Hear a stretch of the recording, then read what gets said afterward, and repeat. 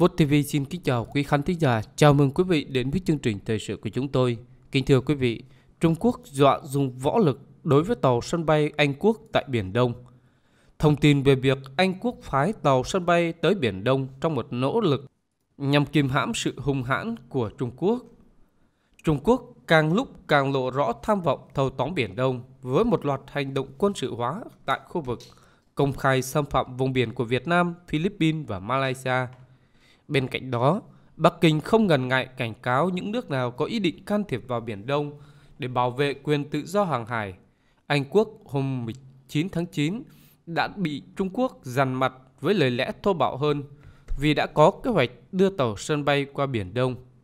Theo báo chí Anh Quốc, trong một cuộc tiếp xúc với báo chí tại London, Đại sứ Trung Quốc tại Anh là ông Lưu Hiểu Minh, bên cạnh hồ sơ nóng là Hồng Kông, đã nhắc lại rằng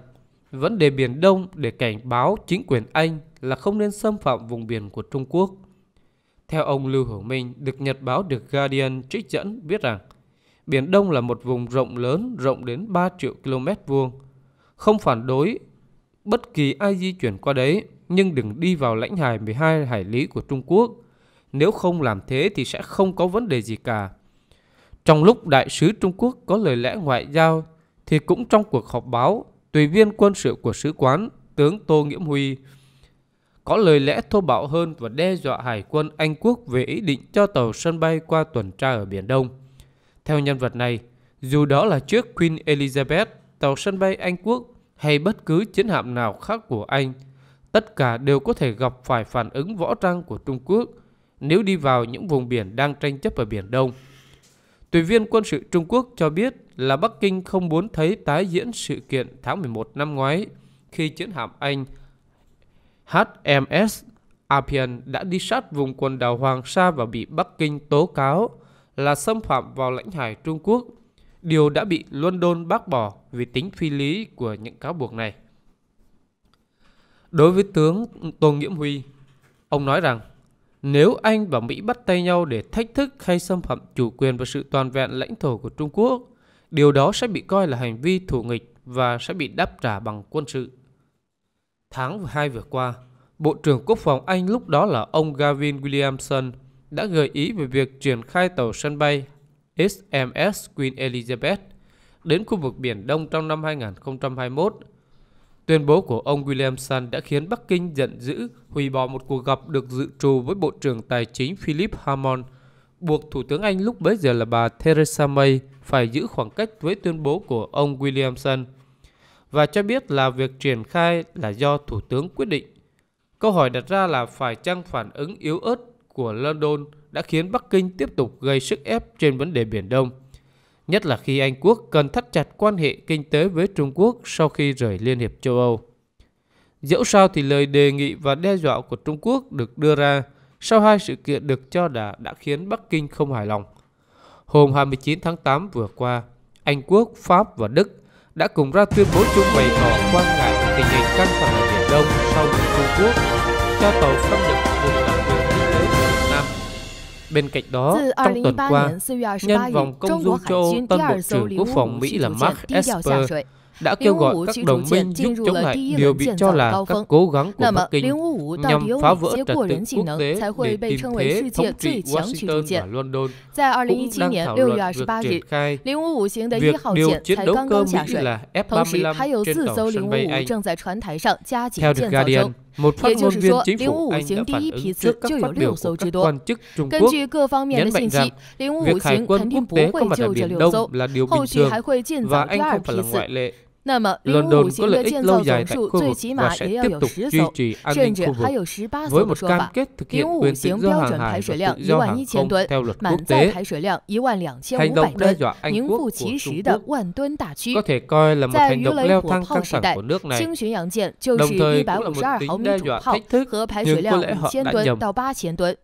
tục duy trì an ninh khu vực với một cam kết thực hiện quyền tự do hàng hải và tự do hàng không theo luật quốc tế. Hành động đe dọa Anh quốc của Trung Quốc có thể coi là một hành động leo thang căng thẳng của nước này, đồng thời cũng là một tính đe nó chỉ bộc lộ ra nỗi sợ của Bắc Kinh là càng có nhiều thực thể quốc tế, càng có nhiều quốc gia tham gia vào vụ tranh chấp trên Biển Đông, thì Trung Quốc càng có ít cơ hội để hung hãn hơn. Đó cũng là điều mà Việt Nam cần chú ý và cần có những cơ chế phù hợp để các nước có một sự can thiệp nhất định, được hưởng những quy chế khác biệt hơn. Có lẽ đã đến lúc chúng ta người Việt Nam cần phải tìm lại, nhìn lại, suy ngẫm về một chính sách trong đó để tái cân bằng và có những đối trọng phù hợp để Trung Quốc không còn dám hung hăng đe dọa hay kể cả là chiếm biển, chiếm đảo, chiếm đất liền của chúng ta. Thay thái độ đổi cuộc đời, tác giả Jeff Fedhan Người đã viết cuốn sách nổi tiếng Thay thái độ đổi cuộc đời. Trong đó, ông kể lại một câu chuyện của một người từ chỗ đau khổ cùng cực. Người gặp những khó khăn vất vả, cả về đời sống vật chất lẫn tinh thần, rơi vào tận cùng của đau khổ, bế tắc, chán nản, mất niềm tin cuộc sống, nhưng đã tìm cách vượt lên để thay đổi cuộc đời mình, đơn giản bằng cách thay đổi thái độ sống. Bằng sự trải nghiệm của cá nhân, bản thân tác giả đã chứng minh một chân lý có thật trong cuộc sống, đó là thái độ sống là tất cả. Suy nghĩ và thái độ sống, tìm ra con đường là những điều có thể làm cho cuộc sống của chúng ta có khác biệt một thái độ tích cực trong những vấn đề của đời sống có khả năng giúp chúng ta tìm ra những con đường chưa thành lối để đạt đến một thành công hạnh phúc thật sự. Đó là câu chuyện của từng cá nhân, nhưng nó cũng có thể là câu chuyện của cả một quốc gia. Trong tình hình đất nước của chúng ta đang có nhiều rối ren khi biển đảo quê hương đang trước sự đe dọa của giặc giã,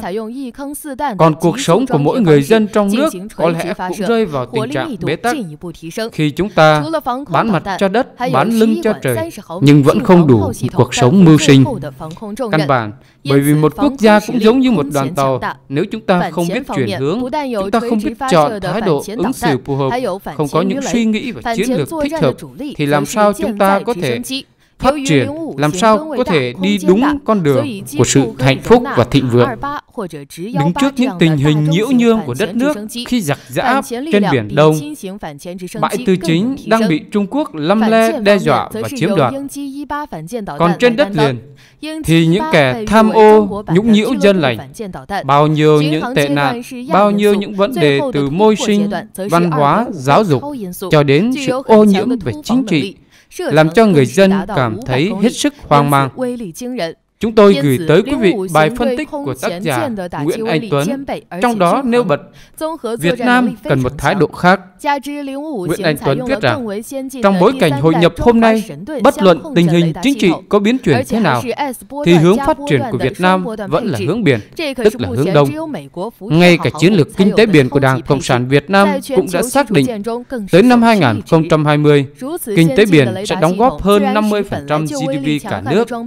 và con số này còn tăng lên nữa theo thời gian. Trong khi đó, hướng bành trướng chính của Trung Quốc ngày nào đó và ngày nào nó còn là một đế chế như hiện nay vẫn luôn là hướng Nam, nhằm khống chế tuyến giao thương hàng hải quan trọng bậc nhất đi qua nơi đây. Biển Đông như góc ngã ba đường trở thành điểm đụng nhau giữa hướng phát triển của Việt Nam và hướng bành trướng của Trung Quốc, nên xung đột là không thể tránh khỏi. Chỉ khi chưa biết khi nào và mức độ ra sao, những nhà lãnh đạo của Đảng Cộng sản Trung Quốc và Việt Nam ý thức rõ điều này nhưng đều cố tình trì hoãn xung đột vì những toan tính của mỗi bên. Lãnh đạo Trung Cộng hiểu rõ xung đột sẽ đẩy Việt Nam gần với phương Tây hơn, một điều mà họ không hề mong muốn, vì thứ nhất sẽ khiến họ mất đi một đàn em ý thức hệ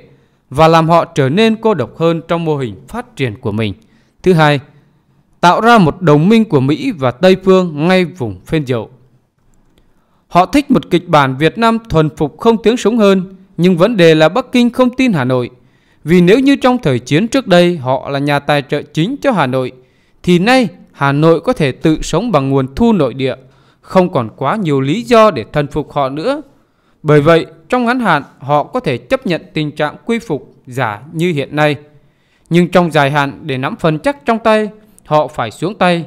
Đó là còn chưa kể đến nhu cầu của Bắc Kinh đưa xung đột ra ngoài biên giới mỗi khi nội trị rối ren kèm với thúc bách của giải phóng quân Trung Quốc phải nâng cao kinh nghiệm tác chiến của không quân và hải quân. hòng chuẩn bị cho những cuộc đụng độ lớn hơn với những đối thủ mạnh hơn sau này. Tất cả sẽ còn đặt vẹn toàn lãnh thổ Việt Nam vào thế chỉ mảnh treo chuông trong một thời gian dài nữa. Phía lãnh đạo của Cộng sản Việt Nam vốn dĩ xây dựng tính chính danh dựa trên thành tích bảo vệ sự toàn vẹn lãnh thổ và phái sinh của nó là một thứ chủ nghĩa dân tộc bài tàu thường xuyên được mài dũa lại đang rơi vào thế tiến thoái lưỡng nan nguy ngập hơn. Vừa phải tỏ vẻ thần phục Trung Cộng để mua thời gian, vừa phải tìm cách chứng tỏ với quốc dân rằng sự thần phục đấy chỉ là hình thức, là chiến thuật ngoại giao khôn khéo để cho thấy là họ vẫn xứng đáng nắm quyền.